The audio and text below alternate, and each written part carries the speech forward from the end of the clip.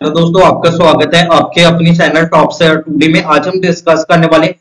Mangalore refinery and petrochemicals limited से stock में आज के दिन एक रुपए पैंसठ पैसे की तेज़ी देखने को मिली है। और ये स्टॉक एक परसेंट के करीबन का अपसाइड मूव दिखाता हुआ नज़र आ रहा है। हम इस वीडियो में ये डिस्कस करने वाले कि इस स्टॉक में फ्यूचर में क्या टारगेट बनते हुए नज़र आ रहे हैं और हमें स्टॉक लॉस कहाँ पर ट्रेड करके रखना चाहिए।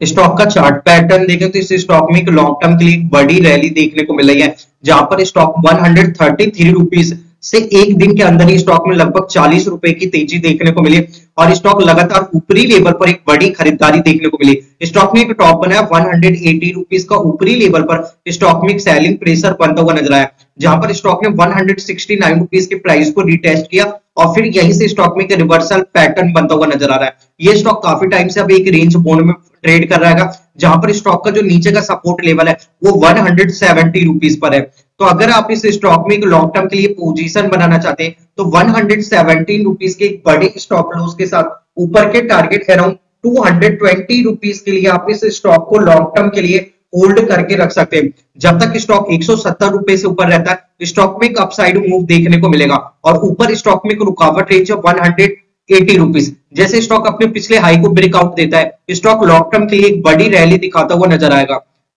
ये वीडियो अच्छा लगे तो चैनल को लाइक सब्सक्राइब करें।